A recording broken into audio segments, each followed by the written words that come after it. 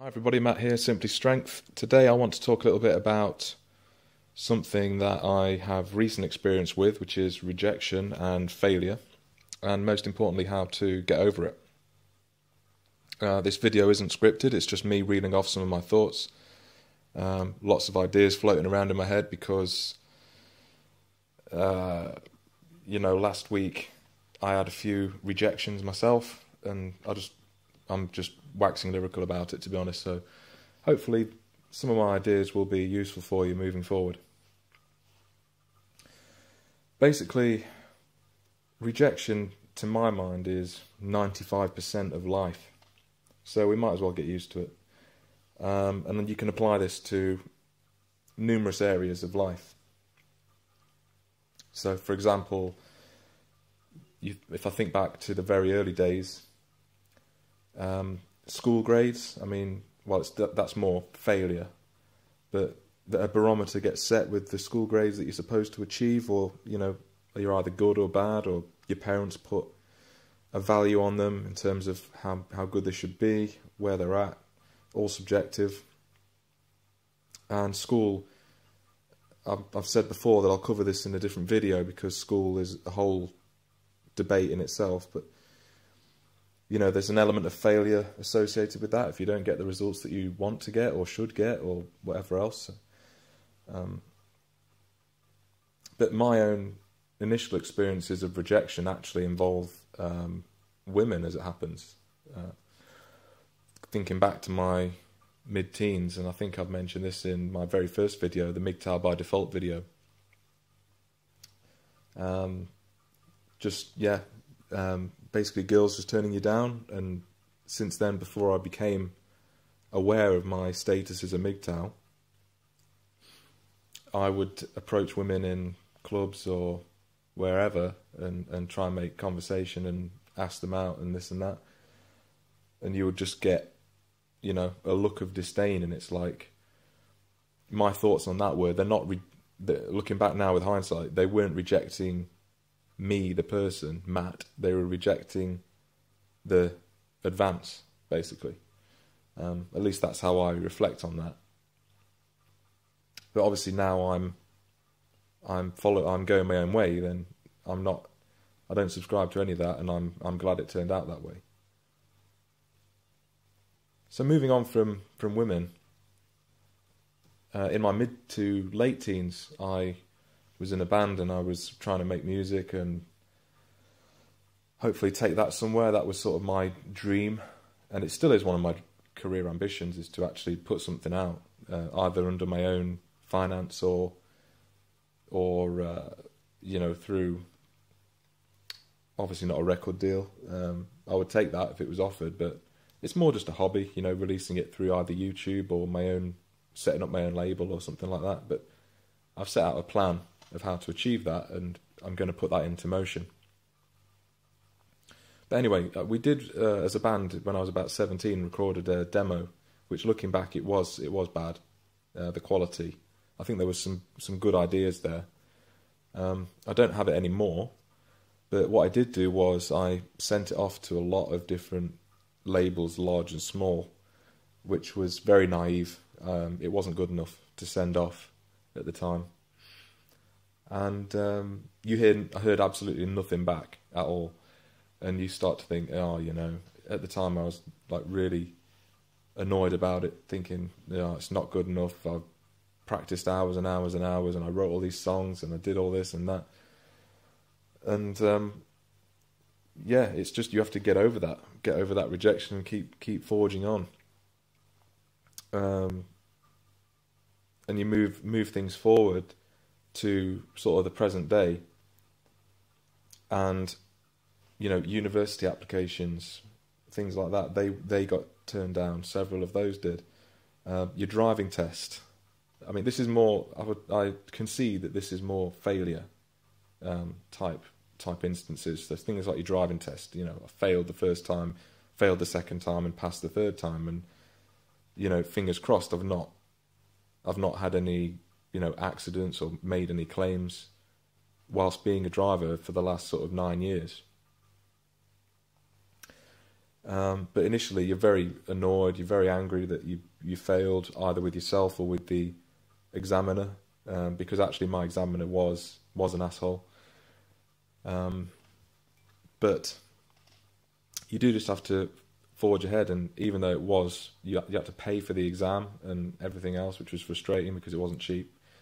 You just have to keep hammering away all the time. There's a great song by uh, Racer X uh, an American, uh, not very well known band, but they're uh, famous for their uh, guitar playing abilities. Uh, they've got a song called Hammer Away, which is one of my favourites. And it's just a, a, a motto for how to live your life, really, whether you get rejected in your career or you know even on things like YouTube. I mean, I'm fortunate at the moment in that most people that are tuning into my channel seem to enjoy the content giving me a lot of great feedback. They enjoy the ideas that I'm putting out, which is which is really good. But there will be a time if I keep moving forward where you know you do get trolls, you do get haters, um, bad comments, and personally, you know, you just have to move forward. Uh, and again, thinking more more recently with regards to uh, you know this past year or so, last past couple of years, I've uh, finished my master's degree and since then, I've worked in academia both as a as a teacher and uh, as a researcher. And these are two two jobs where, you know, I don't really know how much money I'm going to earn each month. I mean, they're great for my career and, and all that, but you never really know. You need something more concrete. So I've been applying for other jobs just as sort of part time work you know any anything really that I can put my skills into just to tide me over, just so I can get my get my uh, life in order. And it is frustrating when you send a CV out that you believe to be very good, with a lot of different experience. I've got you know ex- experience in the private sector uh, and in the public sector and education. You think that it's a very good CV, and and it doesn't get any any feedback whatsoever. There's no you know, I must have sent it out to about 20 different uh, different job advertisements and absolutely nothing. And you think, well, either there's that many applicants or I'm overqualified. And I'm leaning towards the latter, but you never can tell um, uh, these days with, with the economy the way it is. And focusing on my, my academic work, rejection is you know commonplace there as well. Uh, you know, so with the research papers that I've submitted, um, probably about eighty percent of those get rejected, and you have to resubmit them. And it's literally called rejection. So you sign in, and it tells you rejected um, with revisions, or sometimes just outright. And like I said, you know, rejection is probably ninety five percent of your life. I mean, I can think on. Uh, I can think of perhaps five percent of the time you get the the positive results, the the um, the instances where you get what you're after. They probably come around five percent of the time, and and uh, this is just the way life is. I mean, I've had interviews. My goal is to pursue a PhD um, in my area of in my in my discipline, and it's not sort it's not really my discipline. It's sort of bridging the gap between that and another one. And I've applied for projects at a number of leading institutions in the UK. In fact, one project I began emailing the supervisor, built up a rapport with him. I, he gave up a lot of his time over the phone to talk to me. And I thought I was in with a very good shout. I put in nine months of work uh, in combination with my other jobs to put in this application. Went and did the interview, thought it all went very well, and in the end, there was a better candidate, and I was sort of second place, and, and I was very disappointed about that, and that was about a month ago. But uh, I picked myself up and had another interview for a separate one last week. Again, I thought that went very well, but I, I didn't feel right about the about the institution but that was beside the point. It's it's what I needed to do. The it would have been a very good PhD. and found out last week that I didn't get that either. Um, and I actually met the other four candidates on the day, and I knew, and, and this is not being arrogant, uh, I knew that I, on paper I was the best candidate, just from talking to them. So it's it is bitterly disappointing, and you do feel like they're rejecting you, the person, when perhaps you shouldn't. And you know, people can't be down in the dumps about it for too long because the world the world is a harsh place. You know, it's there to test you, and you, like I said, you have to keep hammering away, keep banging on the door. And I've already lined up however many more projects that I'm going to apply for for to get the funding to do the to study the areas that I want to do. And over the last two years, as well as my two jobs that I'm doing at the moment, I've done that much work for free. I've done internships, I've written up research for free um, just to get the publications on my CV. You have to do so many things now in this current economic climate, you know, free of charge just to differentiate yourself from everybody else. You have to just keep grafting and grafting and grafting. And it's the same, I mean, although with, with this YouTube channel, um, I'm doing it, it is as a hobby. It is a lot of work, but I find it very rewarding, you know, especially when people seem to enjoy the content that I'm creating. And hopefully it provides some value to, to people's lives. And there's, you know, that is worth more than money, I think. So I hope you found those thoughts useful. Um, the underlying message of this conversation was really just to you know, if if there's any amount of, and there will be rejection in your life, um, and you fail at things that you that you want, you have to just keep forging ahead. Uh, you know, make a plan. Like I've identified several areas where I could maybe improve things.